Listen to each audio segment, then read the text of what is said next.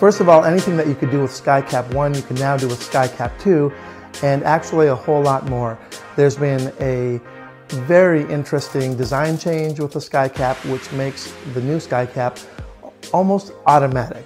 The adjustment that was made in the gimmick now allows it to be examined before the effect and after the effect. So there's no longer any get ready for SkyCap. We've also included a handful of brand new routines from different contributors, and as well as a bonus, we've put on the entire SkyCap 1 DVD on the download so you can check out all of Luke Dancy and Alex Linian's work on the original SkyCap. But first of all, make sure everything is solid, make sure everything is what it seems to be, and the pen, the bottle cap, the bottle.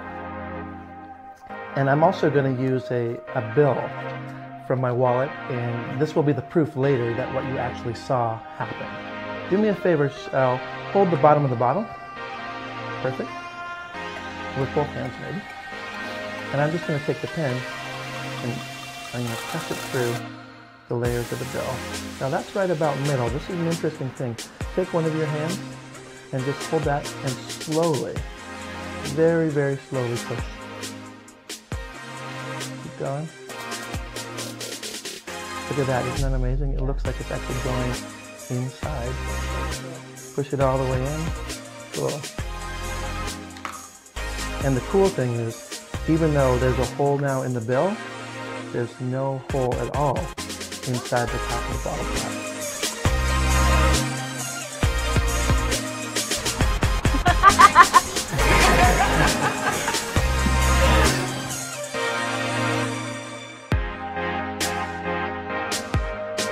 You can actually see the straw going right there inside the bottle, right I want you to also help me out, my friend. I'm going to grab the napkin this time, and I want you to push the straw all the way down into the bottle. Go ahead and do it right about there. You can actually see the hole in the napkin, but check it out. There's actually no hole at all.